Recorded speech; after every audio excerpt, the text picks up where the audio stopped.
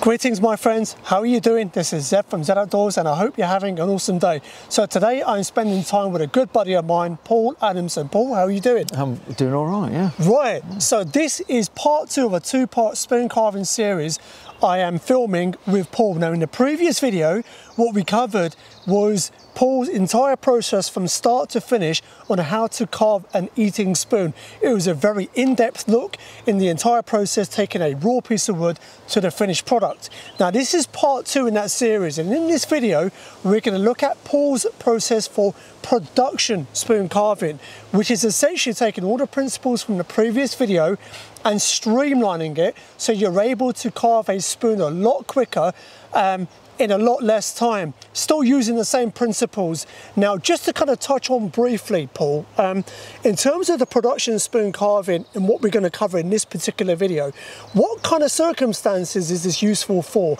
You were talking about your own experiences mm. um, making spoons at live events and fairs. Yeah. Yeah. Um, so, would you say is that kind of environment this is suitable for? That's where it came into practice for me. So I got to a stage after a couple of years of spoon carving where I could make them to a reasonable standard quite quickly, one spoon.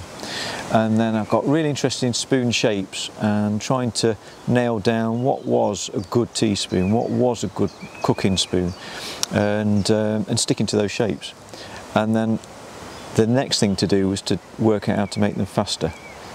And that's what we'll talk about later in depth. But um, this all happened because of shows. So I was doing live cook, um, spoon carving demonstration, not kuksas, uh, spoon carving demonstrations uh, in front of big audiences, and it was it was really good fun. I used to love it. So initially, it started out I don't know once an hour. You, the message will go out. Paul's going to do a demonstration. You put it on a chalkboard, and um, and it was all good fun. And there'd probably only be three or four demonstrations like that. And then I realised once the crowd went, I was bored. So mm. I'd just do another one. Right. And I'd do 15 a day make a spoon from start to finish. And before you know it, you've got bagfuls of these things, half finished, and you have to do something with it. And I thought, how much faster could it be if I didn't have to talk and I didn't have an audience and it was just me and the garden? And yeah, it went really fast. So that's how I started to go. I had to slow myself down a bit. It was ridiculous. I, I was running out of wood, and right. you know, the tools were getting blunt, and, and it was I wasn't seeing anybody or going anywhere or doing anything except making spoons. So um, yeah, it, I learned a lot doing it. It wasn't just for fun, and it meant when I attended a show, I had 40, 50 spoons for sale, and it didn't matter if I sold half of them. I could go to somewhere else the next day or stay there for two days, and still be able to offer them for sale to the public. It was ironic that the spoons I was making the week before were the ones on display for sale. Right. And it was because of making them quickly, having to really to entertain the audience so they can see what you guys have seen in the last one that make an hour or something. Shrink that down into 10 minutes, get them rather really engaged and, and, and excited before they move on to the next store because there might be 100 stalls to look at. Or it might be a market where everyone's not really come to see someone like me and I just happen to be there and then they go, what's all this about? most people are a bit adversarial, but not really interested. So if I can get them won over even faster, that, that's the thing to do. And it makes me make more spoons, so it's all good fun. But this is a topic I've not covered before, and I've been very eager for quite some time. With the growing popularity of spoon carving, like Paul's just outlined, a typical spoon could take quite a bit of time to carve. But with more and more spoon carvers demoing at events or gatherings or whatnot, um, in order to to meet quote unquote the demand of a lot of kind of public that are, that are attending that particular gathering or event, um, being able to, like you said, streamline your process down to something a lot quicker, mm. still churning out a perfectly yeah, fine, perfectly functional fine. spoon, but doing it in a lot less time and, yeah. and the, uh, making things a lot more efficient. Yeah. Um, it just works out really well. So, with your kind permission, Paul, we get cracking with this video. Let's do it. So awesome. So guys, without further ado, we're going to get started. So like I've already mentioned, it's ideal that you watch the previous video um, alongside this video if you haven't seen that already because in that one Paul breaks down the process in a lot more detail so this is kind of shortening that to a, a much more a simpler streamlined process so without further ado I hope you enjoy the rest of this video where Paul Adamson is going to be demonstrating production spoon carving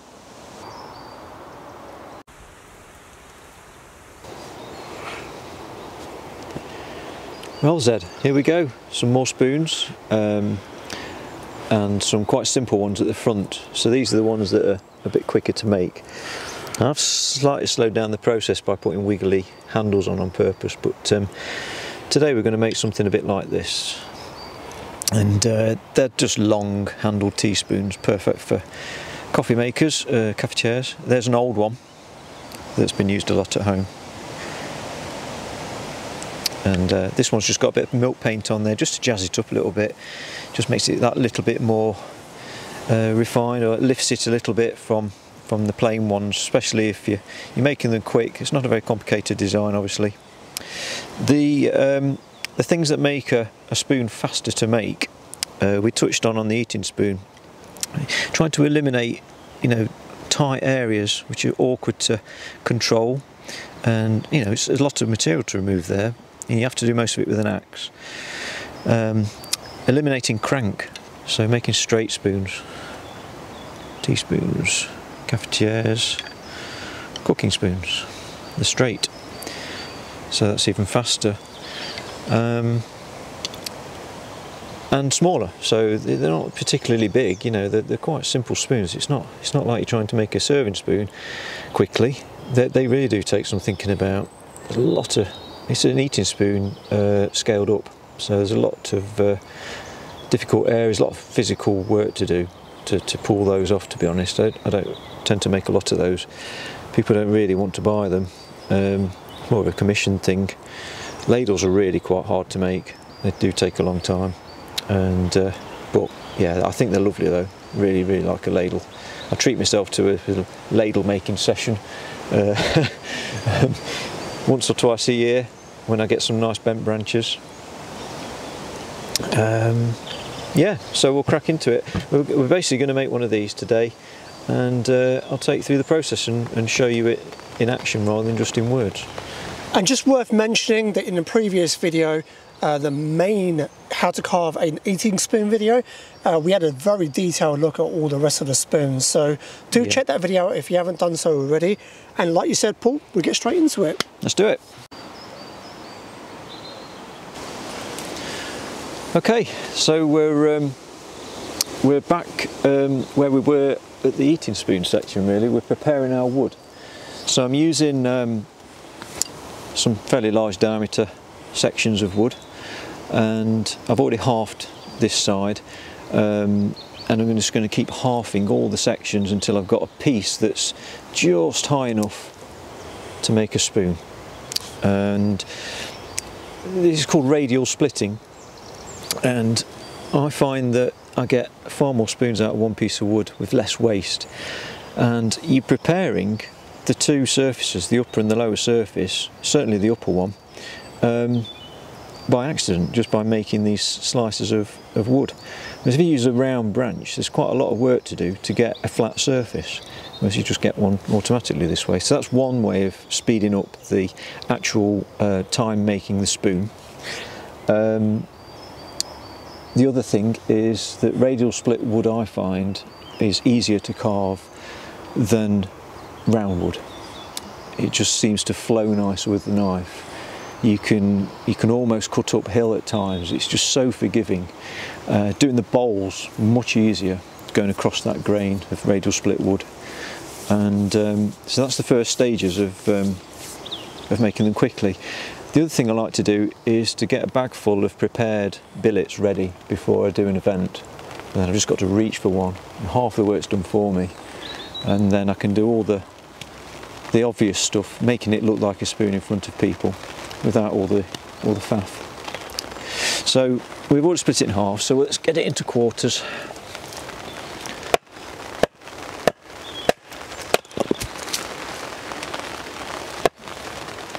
Into eighths into sixteenths. And we could stop there.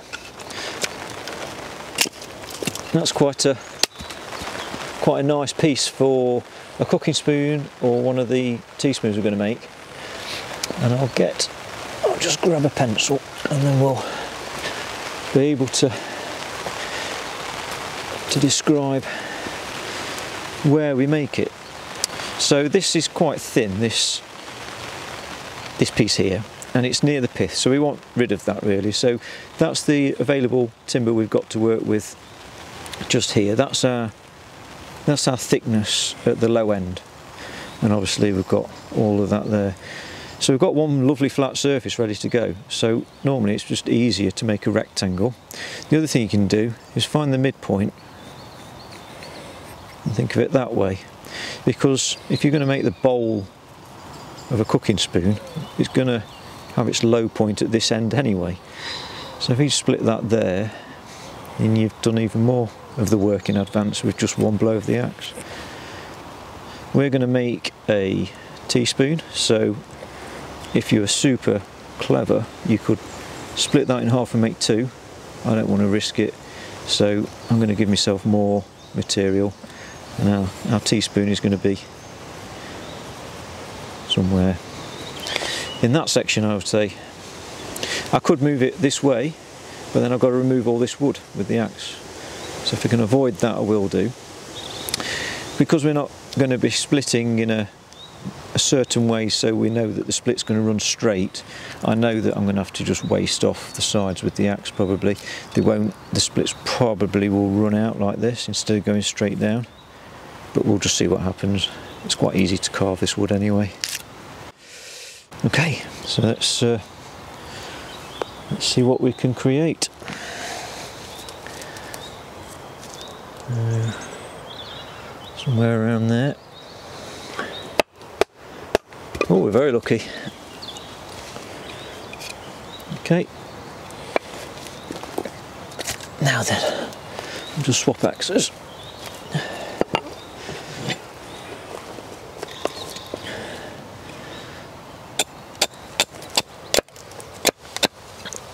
Get that sharp corner off. And uh, we're ready to, to go, I think. I'm just going to tidy up this face because I think that's the more preferable one to draw the picture on.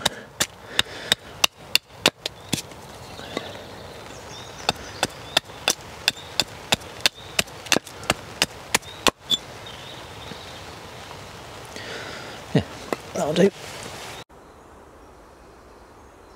Okay, so I've got a very grotty looking template from an old child's uh, mat for putting hot plates onto tables. Actually really floppy. Nice thick edge so it's easy to get your pencil around there. Really good. Um, there's lots of things you make make them from. Um, you can draw around a spoon. That's uh, how we used to do it to be honest. With this template which we spoke off camera and um, you said you can very kindly make it available to download. Uh, yes I've got um, a page just for templates on my website and uh, there's a couple on there that you can download there's one for the eating spoon we did and there's one for a production spoon. So, um, so what I'll do, guys, uh, just below this video, I'm going to put a link, and on that page uh, will be a template similar to what Paul is using here for you to download and use for your own production spoon carving. Yeah. All right, so it's it's not particularly clever. There's nothing here, but coming down here is going to be super easy because that's a nice smooth line. It's not coming all the way in like this. Less work to do, and you don't need that to be removed. I do like to do very round, very tidy looking teaspoons from time to time, but they take longer so you know, I, I, sort of get me head into that kind of uh, mentality beforehand and know it's going to take a little bit longer, but it's not that much longer when you've done a few. It, it, it's, it's, quite easy to do, really. But for the purpose of the video, we are trying to explain why some spoons are quicker to make and this is one of the big ones is having a handle that doesn't have sections that come quite as far in and a straight handle you know it's, it's, it's just straight it's not wobbling all over the place too much it's not got a curve on it that's going to mess around with the way that the grain runs through the through the wood less of the valley problems that we discussed on the eating spoon uh, and not too big anyway well um, there's hardly anything to remove there with the axe. You know, just a quick couple of blows, a bit of a tidy up on that edge. Most of the work's already done. Okay, so uh, it's just getting to it. It's um, just a case of um, making some stop cuts.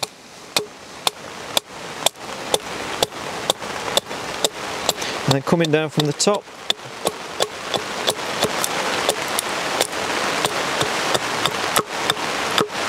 Brushing those off.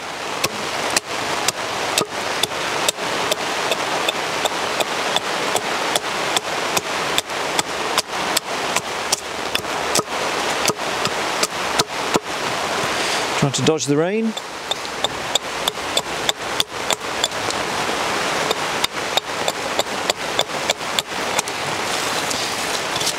If you were a beginner, I would recommend that you have some holding wood here so you don't draw your spoon right up against the edge, the end here. I'd, I'd move it down, have a longer piece of wood. Then you've got more to hold on to when you're coming up here like this. That's touchy, you know, so that's quite, uh, it's, it's, I feel perfectly safe, but I wouldn't want you to do this if, you, if you're a bit new to the, to the craft.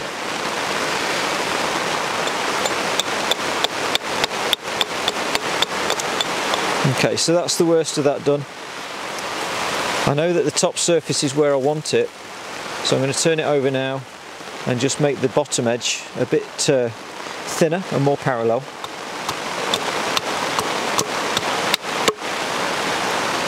That's a lot more parallel than it was. And I'm just thinking about the thickness of the handle now. They don't want to be very thick.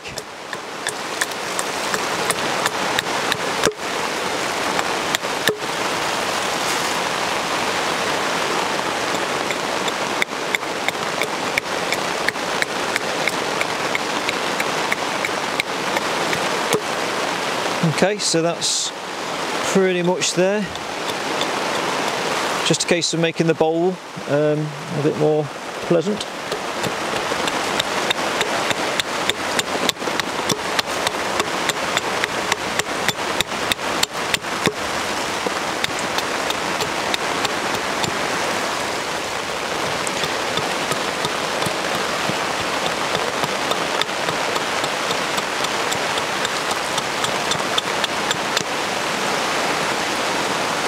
To just um, put an angle on that wall there. So this is on the back of the bowl, yeah? Yeah, the back of the bowl. We're just trying to round it off basically. And then we'll just make the end a bit thinner.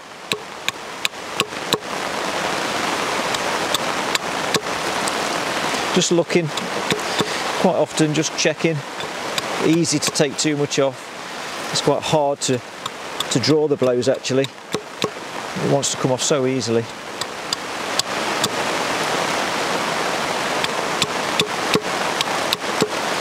And don't forget, at the end of the day, it's only got to stir a fluid. It's uh, it's not a highly, you know, purposeful tool really. Just going to continue rounding that corner off a little bit. It's getting to the point now where the knife's actually going to be more convenient to do that so that's what we'll do now so I'm just going to use a standard um, Mora 106 absolutely amazing knife. If, if ever you want to get into carving don't be put off by the looks. It is far stronger than it looks and an absolute joy to use. And where would we be without them? So the first thing I do is to um, use the uh, pull grip. So instead of holding it like you would do in the forehand, where you would carve like this, what I like to do is to turn it all the way around 180 degrees so it faces me and I put my thumb over this side. Place the, um, the blade on the spoon and I'm just going to push with these three fingers. Hold it with those two there gives you a lot of control. And there we go, we're down to final dimensions on that side. And flip it over and do the same.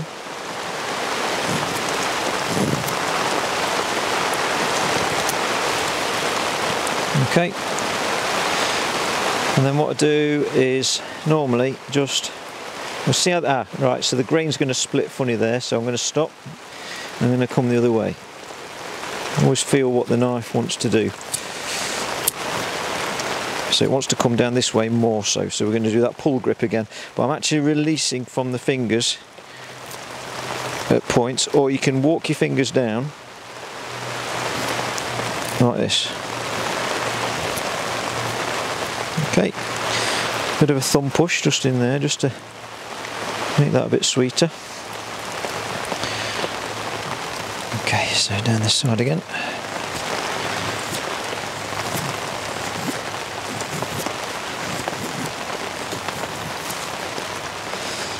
See how this goes with the chest lever. It might be a bit aggressive.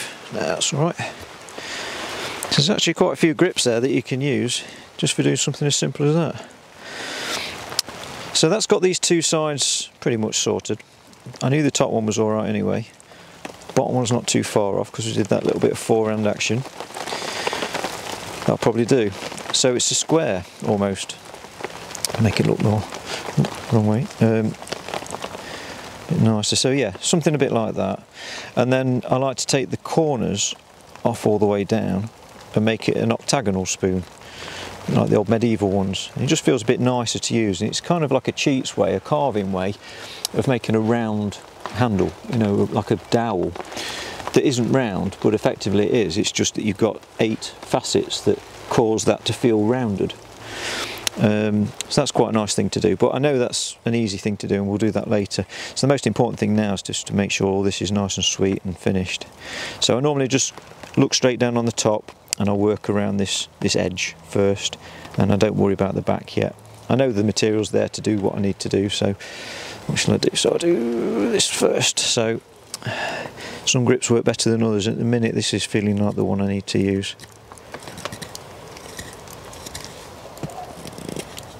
Do that. Do this one. Once I've got around to the end of that, the highest spot if you like of that line, I know that I can come down that way with just a thumb push. So we were doing the assisted grip there with just one finger. I get right to the top of that hill and I come back down the other side with a thumb push. When I get nearly there, I stop because I once had an injury where I left my finger in the way. So I know not to do that anymore. So what I do is I turn that around every time, turn the knife around and do a potato peeler grip. It's super safe, as long as your thumb's miles out of the way, which it is. Turn it around again, come this way. Thumb push. Knowing I'm going to skip off and probably cut myself, stop. Do that. It's just more of that over and over again basically. That looks a bit naff, I'm going to come in there a bit more.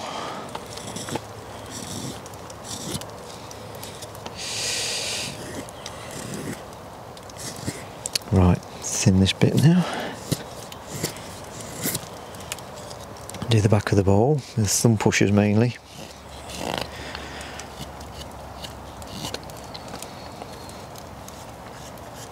Careful you don't make this too thin though, this this side wall.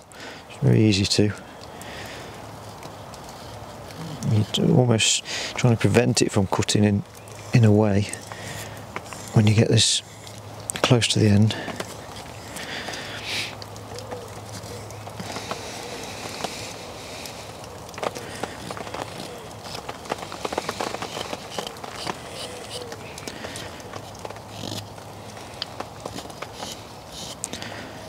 It's just a gradual taper, if you like, curve, going from fat to thin. Leave a little bit of thickness at the end. If you them too thin, they sort of get all curled up and mushy after a, about a year. Especially if you use them in for, for other things, like um, I often use them for um, scraping the bottom of a pan or something like that, just to clean it. And yeah, you can get a bit furry if you're not careful. About there.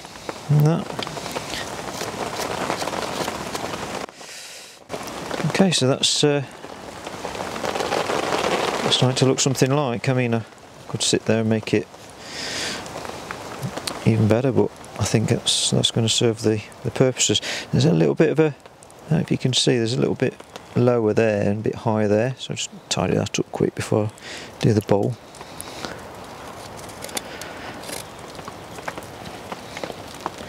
Uh, that's felt wrong that did with the grain, so I'm going to come this way.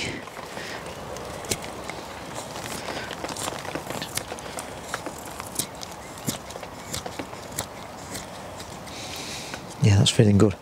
That's all ready to go now for the for bowl making. But before I do that, I like to just finish the handle.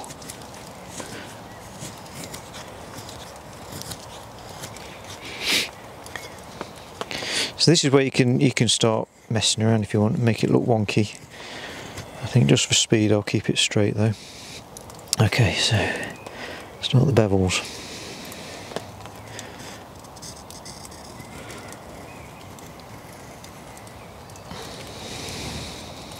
So this is just basically taking the corners off Yes. the edges. Yeah. Yeah, it just it just makes them feel nicer when you're holding onto them, and um, it strengthens the edges of the bowl. Um, what I can do with the handle though is go a little bit more deeper with those, uh, make the facets a bit a bit wider if you like. Bit of a grain change there, splitting out. And then it's moving away from just a, a square shaped handle to something a bit a bit more pleasant. And when you paint them, they look great because you've got all these lovely long facets with corners on that you can, um, which don't tend to take the paint as well. And the, the light shines differently on the edges, so you, you can see that it's a handmade. Well, you can see that it's got um, tool marks, shall we say? Because some handmade things don't don't don't look like that, you know.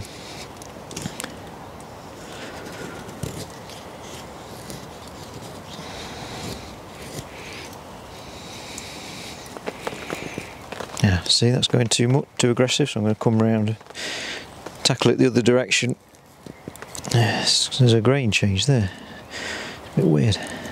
Right in the middle of the spoon and all. So what we'll do is just shave away thinner bits until I get down to the bottom of where that last cut was. Then it should just come off like that. And I'll come the other way to... There we go, that's got control of it now. Might come back to that. That's probably going to lift when it dries. Can just nip that off there.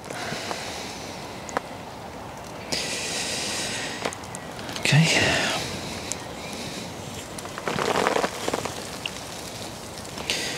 I'm probably taking too long, but you know, quite enjoying it to be honest. okay, so ready for hollowing. Uh, we'll do something interesting at the end though. I like to put some sort of an angle. Um, probably go.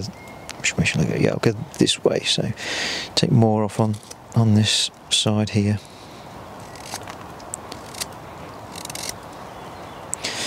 Then put a bevel on. So again, it's a production spoon, so I'm not going to spend too long doing a finial. Just going to have a simple angled cut, and then some neat little chamfer things. That'll do. So hollowing time. So just going to just hollow this out now. Really, you should have a smaller um, sort of with a hook knife than this, and, and, a, and a tighter curve. Um, but if I, if I use this bit here, it normally does a, a reasonable job. It just feels a little bit um, like the inappropriate tool, but it, it, it's not too bad. It's only got to stir coffee at the end of the day.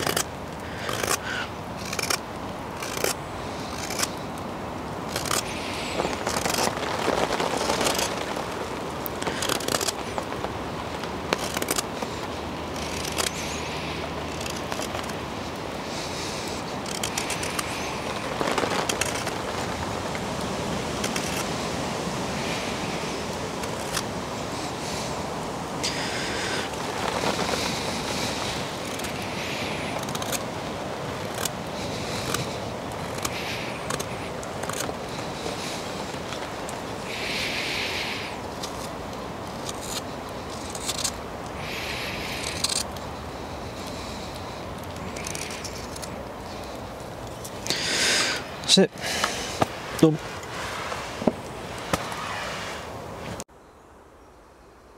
So Paul, Yep. to wrap up, talking about drying, uh, when it comes to production spoons, do Yep. you, what do you do about that? Uh, drying something as, as thin as this, I mean, I could I could refine it a bit more. um, it'll be dry within a day or two, just left on the side somewhere in the house. Um, you can you can be quite um, radical and just put them somewhere. I put them in the oven sometimes. Just I just put loads of them on a tray in the oven, fairly low, um, you know, 100 degrees or something like that. But um, that can really speed up the drying if you if you want to get them ready for the next day. Oh well, the next week, um, and then it's just a case of plonking some oil on there. Um, a good quality cooking oil, other than olive oil, is normally all that's needed. Um, you want an oil that cures. Um, the curing oils typically are from the supermarket anyway are walnut oil, grapeseed oil, and um, some of the cold pressed flaxseed, uh, not flaxseed, um, oilseed rape oil, oils. They're quite good. If you want a faster drying time, then it's the linseed oils, often called flaxseed oil, and it's the food grade versions that you want. And there's various different ones, but they all do a similar job. And a couple of weeks on a spoon like this, a thin layer would, would be more than you needed really to say that it's cured and done. So um, yeah, that's it really. So just one final thing then. So let's say now someone's dealing with the public. Um, you know, you're obviously they're doing the production spoon carving technique that you just outlined. Yeah. What would you typically recommend that people have the semi, the, the kind of the, the previously dried and oil spoons ready to sell, um, and then the ones you're actually demoing, um, you actually kind of keep to one side, if that makes sense.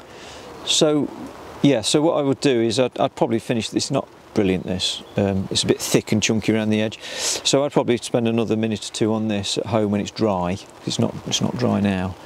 Um, paint them, oil them, cure them, and get them ready for the next show.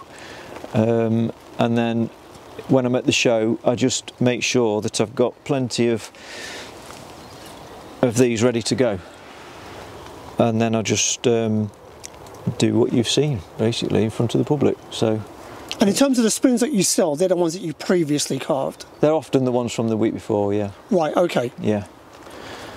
And um, it's normally these that sell. Um, cooking spoons, simple spoons, because they're cheaper, you know, and, and it, uh, most people don't really know what all this is about. And it's a nice gateway into green woodworking and thinking about purchasing something a bit larger that took longer to make, um, such as kuksas or bowls or larger serving spoons. And they often come back. Um, it might be the next year that the, the, the, this festival comes round.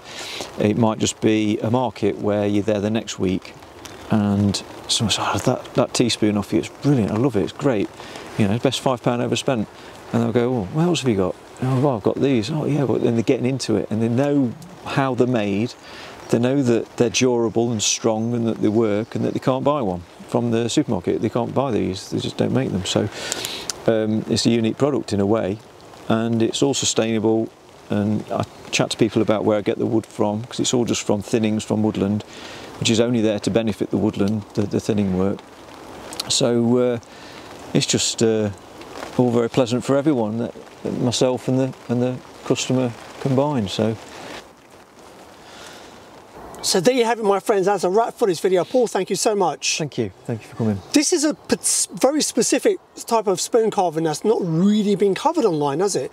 I don't think a, so. A huge amount. So Yeah. I'm really honoured that you've kind of taken the time to show me. it's it's going to benefit a lot of the spoon carvers that are out there that are watching. So just doing a final recap. Um, as I mentioned, this is a two part two of a two part spoon carving series I filmed with Paul. The previous video is a much more refined eating spoon, takes a lot longer, a lot more refinement, a lot more in the process. And once again, if you haven't seen it already, I would highly recommend you do so. Link to that will be down below. Secondly, there will be a link below to a page on Paul's website. On that page, Paul has very kindly put up a template for the very spoon that you've seen in this video that you can download and use for yourself.